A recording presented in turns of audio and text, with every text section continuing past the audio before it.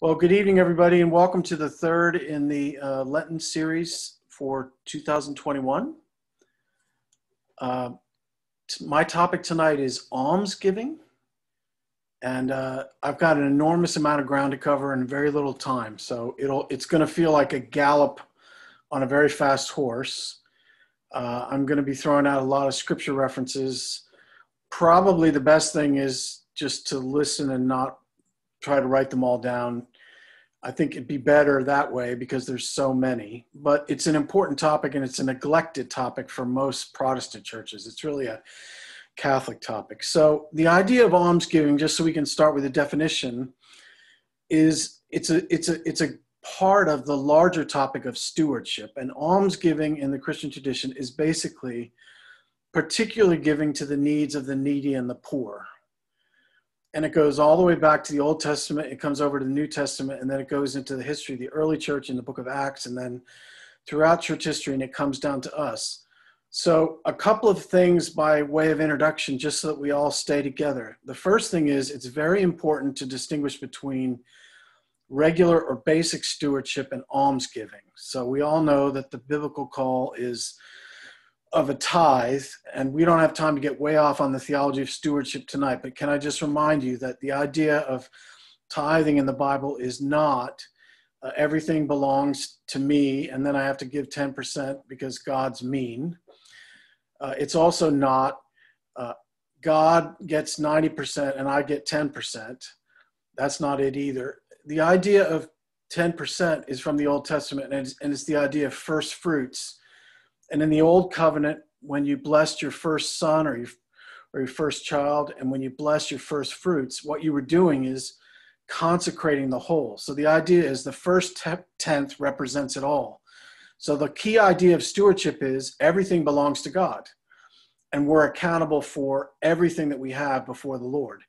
And it's just taken as a given throughout church history that tithing is a basic standard. This is something that is above and beyond tithing, and it's something that's expected as part of our Christian duty, as part of the Christian community, but it's also part of our Christian duty as part of the common good and the common society that we inhabit as citizens. It's both of those things. And it basically means if you become aware of a need, if you see a need, if there's any way that you can open your heart to something that comes to your ears or your eyes, God calls you, if you can, to respond. And God has a particular concern for the poor. And your hands and eyes become his hands and eyes as you reach out to them. And all that almsgiving is in terms of Lenten discipline is just a particular call to us to be sensitive to the call to do this during Lent, which I'll get to later. All right, so let me just take a quick romp through the Bible on this.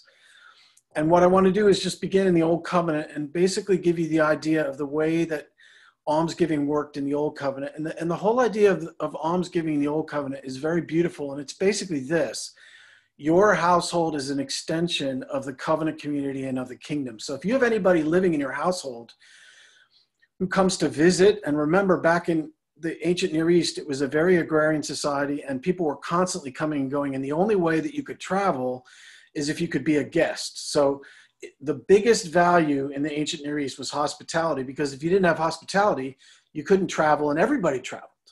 So everybody was dependent on one another. And so it was a regular thing for you to have people coming through your household who were not immediate members of your family, either nuclear or extended. And what the Old Covenant says is if you have such a person in your household, first of all, if it happens to be the Sabbath and you have them in your household, you have a particular obligation to that person to invite them to worship. You can't just pretend that they're not there or somehow pretend that you're not part of the covenant community and you can just treat them as separate. You need to try to include them in the covenant and, and realize that their presence is not, as far as God is concerned, a, an accident.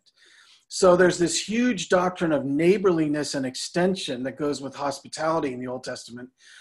And then that's extended beyond simple hospitality to a particular hospitality to the poor. And if if you want an example, and this is just one scripture verse, I, like I said, I don't think it's going to be helpful if you take them all down because there's so many. But let me just read you Deuteronomy 15 verses 7 to 11 to show you one example of how this actually works right? It's a very agricultural society. It's a very agrarian society. So you've got these people who are part of your community and you know that they're not as well off as they should be as anybody who is a normal person would want to be. And so if you read in deuteronomy chapter 15 beginning at verse 7 it reads this way if there is a poor man one of your brethren in any of your towns within your land which the Lord God your, gives you, you shall not harden your heart or shut your hand against your poor brother, but you shall open your hand to him, and you shall lend him sufficient for his need. And listen to this next part whatever it may be, take heed lest there be a base thought in your heart, and you say, well, the, the, the seventh year is near. That's a reference to the Jubilee year and it's it's a it's a clever part of the old covenant community. Once every seven years you actually let the land lie fallow. And and the idea there is if it's the fifth or the sixth year somehow you could say well this guy's poor and he needs help but but i'm just going to wait until a year and a half from now when the land lies fallow and he can he can solve it then as if you don't have to be generous now. It's not letting you off the hook in any way. So basically what you have to do as a conscious member of the old covenant community is constantly be aware of the fact that you need to rope people in to the covenant and to worship but you also need to open your heart and your hand and your ears to anybody in need.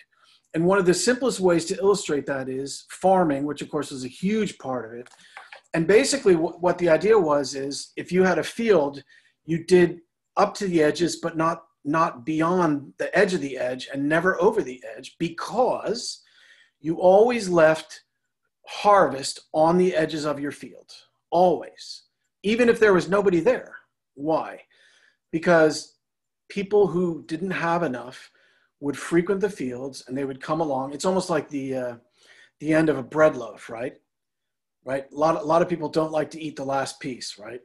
And it's it's it's kind of that idea with farming, and you leave that there. And if you if we had time, I could take you to the book of Ruth, in chapter two when when Boaz actually goes above and beyond this because you may remember he has got a kind of a special affection in his heart for this woman this who, who's kind of come into his life that that has surprised him whose name is Ruth. And so so in her case instead of uh, just leaving the edges for her he actually leaves the sheaves which are the left leftovers from his own harvest. And then he goes even beyond that and he he actually says to his workers you know why don't you guys just why don't you kind of drop a few? And so, so she has the stuff they dropped, the sheaves that they left, and the edges. And that's an example. That's a super abundant example of mercy because Boaz is going above and beyond because he want to make makes make absolutely sure that she is somebody who is treated hospitably. And that idea of opening your heart and leaving something on the edges and being aware of the fact that if you were that person and you didn't have any food at all, you could go out at any time of day, particularly at night when no one was there because you'd be embarrassed. You go to the edges of the field and you could you could gather something up, and it was your responsibility as a member of the old covenant community to do that. And that idea works all the way through the Old Testament and comes over to the New it works over into the Sabbath year, which is that seventh year, and it, and then there's a Jubilee year, which is the seven times seventh year, which is the fiftieth year, which we don't have time to get into, and that's those are just more examples of giving away to the poor in a in a very wonderful way. But it comes in the Psalms. You see little t references, but one of the best places you see it is in Proverbs, and I just brought three tonight, which I'd like to read to you. So here's Proverbs 14, verse 21. Those who despise their neighbors are sinners, right? That's pretty basic. But listen to the next half of the verse. But happy are those who are kind to the poor. That's Proverbs 14, verse 21. So, so the, the description of a blessed person living properly in God's creation, which is what the book of Proverbs is about, is it's somebody who goes out of their way to be conscious of and kind to the poor. Here's uh, verse 31 of the same chapter. Those who oppress the poor insult their maker, but those who are kind to the needy honor him. And then just one more, chapter 21, verse 13. If you close your ear to the cry of the poor, you will cry out and not be heard.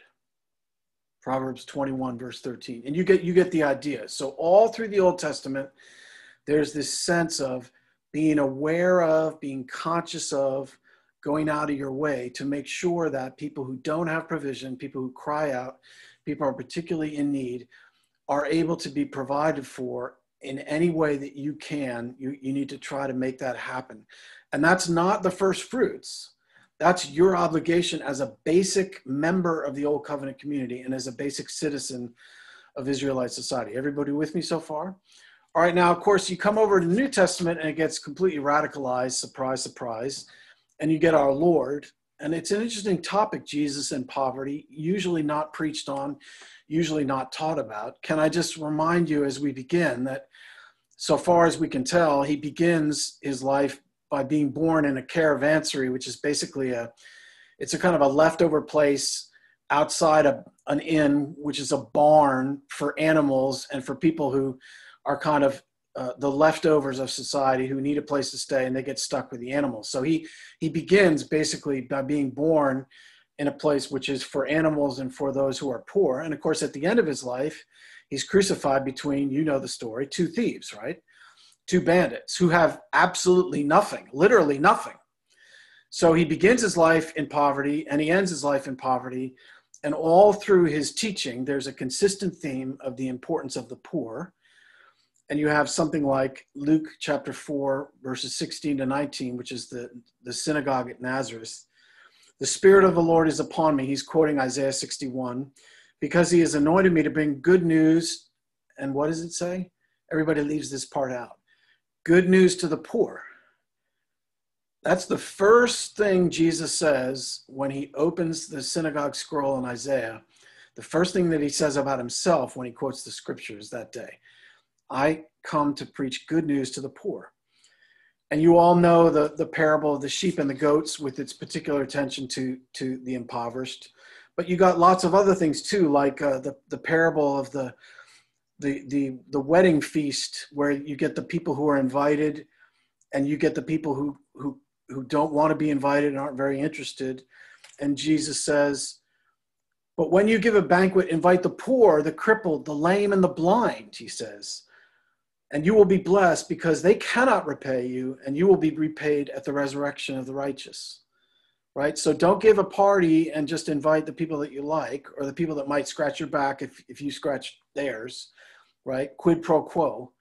But actually go out of your way if you're going to have a party to try to think about people who never get invited to any parties and who, who, who others others don't even know their name.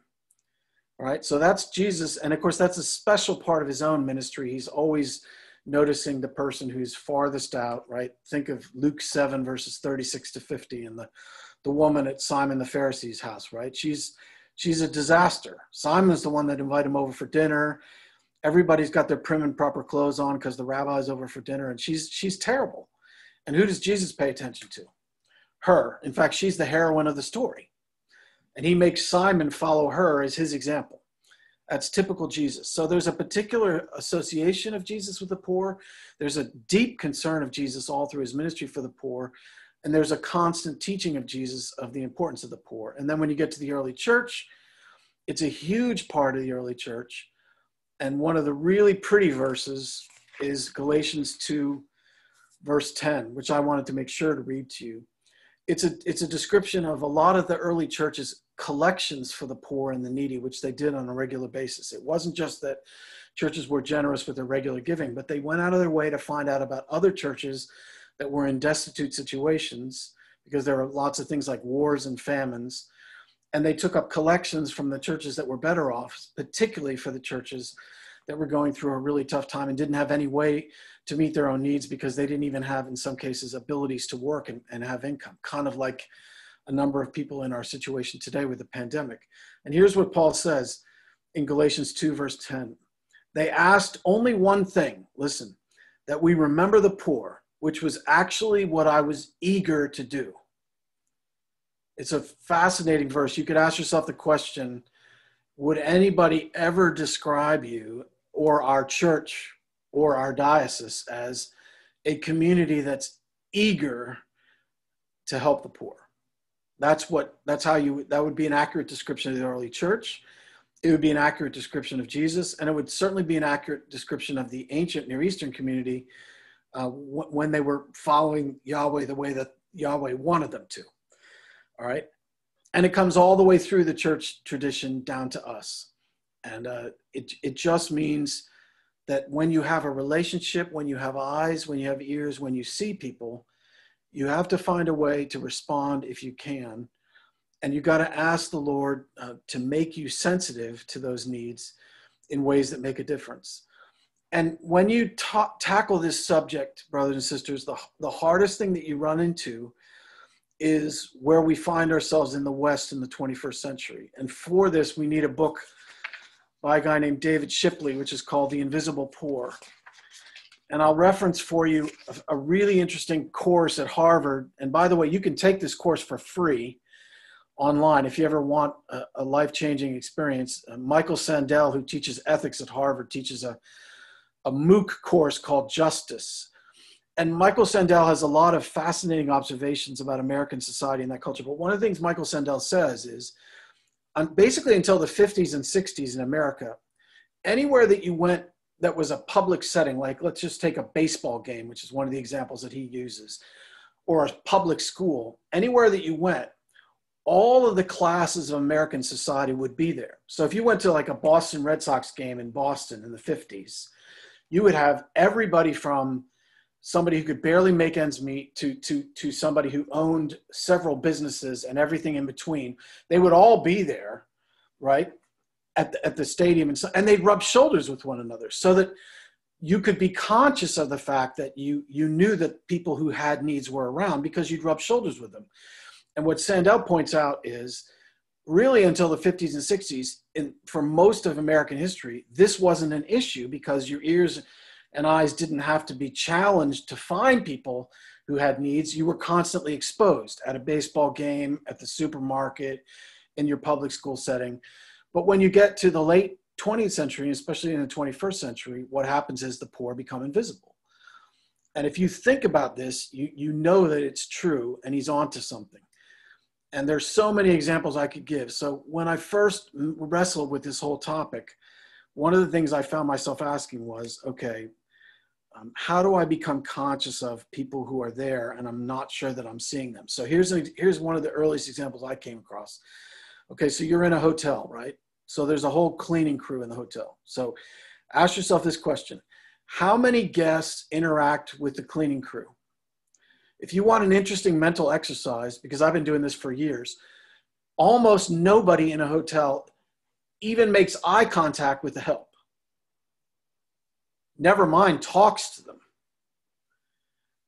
And what almsgiving means is what you learn to do is you learn, first of all, you, you, you, you acknowledge them. Second of all, you speak to them.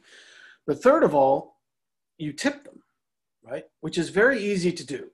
You just leave a little note, you say thank you, and you leave, you know, a certain amount of money. It's up, it's up to you in the what used to be an ashtray, except now we got non-smoking rooms only. So, but you got the idea the, the point is you it's it's hard to calculate the difference that you can make in somebody's life if you tip somebody who's a housekeeper for taking care of your room but the reality is you have to work really hard to do that now whereas in the 50s and 60s it was something that was much much easier to do and so the challenge of this topic of almsgiving is for each one of us to ask the question where are these people in our lives and how can we see them and what can we do for them? So I, I wrote down a list um, garbage delivery, paper delivery, yard work, restaurant workers.